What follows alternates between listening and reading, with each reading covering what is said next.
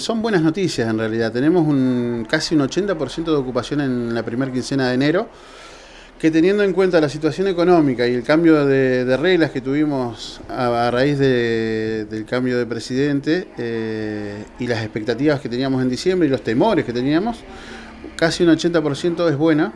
Para nosotros eh, es, es, una buena noticia.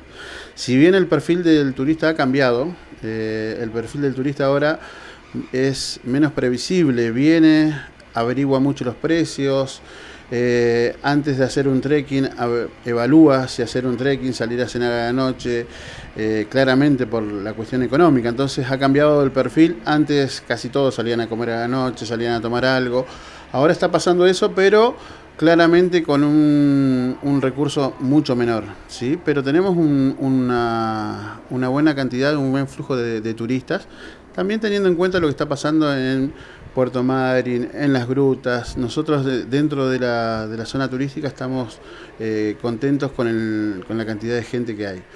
Eh, podemos evaluar y podemos ver y sondear de que algunos rubros trabajan un poco menos o un poco más otros, pero a grandes rasgos la temporada viene bastante bien. Se puede decir que la cordillera eh, realmente está teniendo en general una buena temporada, Nico. Nosotros estamos, estamos como en una burbuja, decimos acá en turismo, porque eh, a diferencia del año pasado, tenemos 5 puntos menos de, gente, estamos hablando que casi un 80, tuvimos un 85, un 90, teniendo en cuenta que la temporada pasada fue un boom.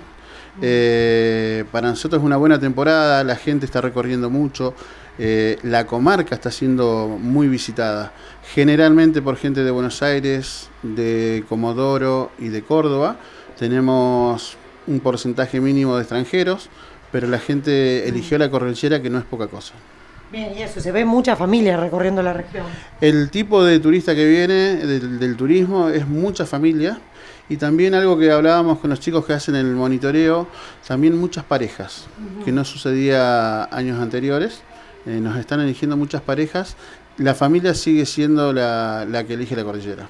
Bien, y hay mucho atractivo, ¿no? Y, lo bueno también es eso, que la región tiene atractivos que no todos eh, son con, una entrada, con el pago de una entrada también, ¿no? Bueno, eso es una de las cosas que veníamos hablando la semana pasada, tener eh, muchos lugares que todavía no tienen un costo.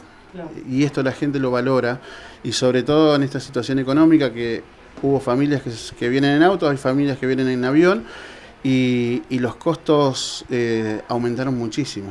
Eh, y tener lugares que todavía no tengan eh, un cobro para el acceso es un valor agregado. ¿Cómo está funcionando el ingreso al Ampral, Nico? el ingreso al Ampral está funcionando bastante bien. Tenemos algunos problemitas arriba, que a veces se cae el tema de internet. de hecho, estuvimos hablando con la gente de la provincia, con la gente del medio ambiente, como para ir mejorando esa situación pero está bastante bien, está dentro de los parámetros normales, estamos bien.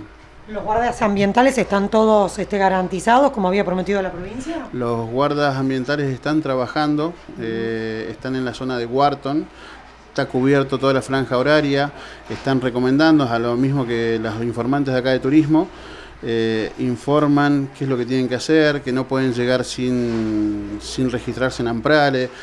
Eh, hay muchas salidas también de rescates, eh, eh, lo estuvimos hablando también, casi todos los días hay alguna salida de la gente de rescate, que no es un tema menor, ¿sí? es un tema a trabajar fuertemente, pero la gente de Amprare está laburando, está trabajando bien. Bien, y acá el sitio se ve realmente muy concurrido por todos los turistas que ingresan por, por Ruta 40 Acceso Sur. Tenemos el Acceso Sur que eh, ha venido mucha gente de la costa eh, y la verdad que el SIT ha sido un buen punto este año donde los informantes se pueden explayar, la gente viene recorriendo eh, y, y este lugar ha sido, creo que en este año, a diferencia de años anteriores, eh, tenemos mucho más flujo de gente eh, y está más visible, así que está bueno. De a poco se va, este, esto, la gente se va acostumbrando a estas nuevas oficinas de turismo. Tal cual, nosotros claramente vamos, llevamos un mes de, gestión, queremos darle más visibilidad a la, oficina, claramente que es hermosa, eh, hay espacio, así que queremos darle más utilidad y visibilidad.